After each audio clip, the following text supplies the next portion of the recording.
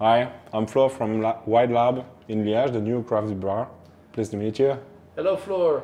Wild Lab. How did you came to the idea to start a craft bar? Uh, in fact, I was uh, working in Brussels in a craft beer bar years ago, and uh, uh, two years ago, when this, I decided to come back in my own city in Liège, and uh, I, I want to continue this uh, wonderful, uh, wonderful adventure in uh, craft beer, my craft beer experience. So I decided to open my own bar.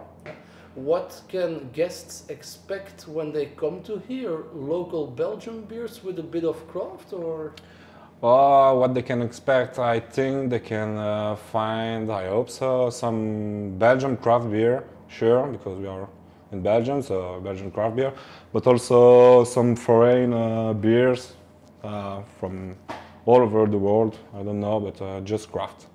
That's the, the point.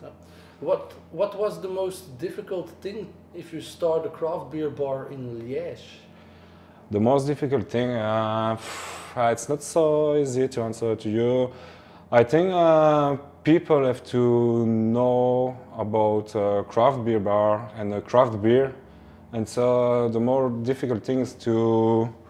It's not so difficult. It's uh, my pleasure to try to explain and uh, to to share my passion for craft and not uh, a, not not just the the industrial one. So make the discover.